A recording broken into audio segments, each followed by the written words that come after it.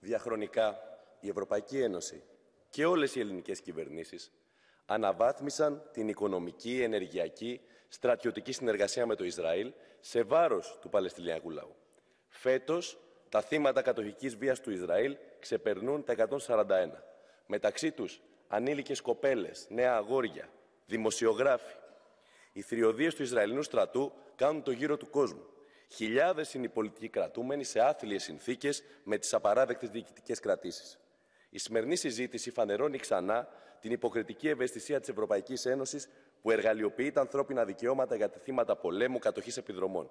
Γιατί όταν συμβαίνουν αυτά στο Παλαιστίνη από το κράτος δολοφόνο του Ισραήλ, οι θύτες εξισώνονται με τα θύματα και τηρείται ίσες αποστάσεις. Μόνη λύση αποτελεί κλιμάκωση της αλληλεγγύης με τον Παλαιστινιακό λαό για την αναγνώριση του δικού του κυρίαρχου κράτους στα σύνορα του 67 με πρωτεύουσα την Ανατολική Ιερουσαλήμ. Απαιτούμε να τεθούν σε ισχύ τα ψηφίσματα αναγνώρισης του Παλαιστινιακού κράτους που έχουν πάρθει από τα κράτη-μέλη, όπως εκείνο του Ελληνικού Κοινοβουλίου από το 2015.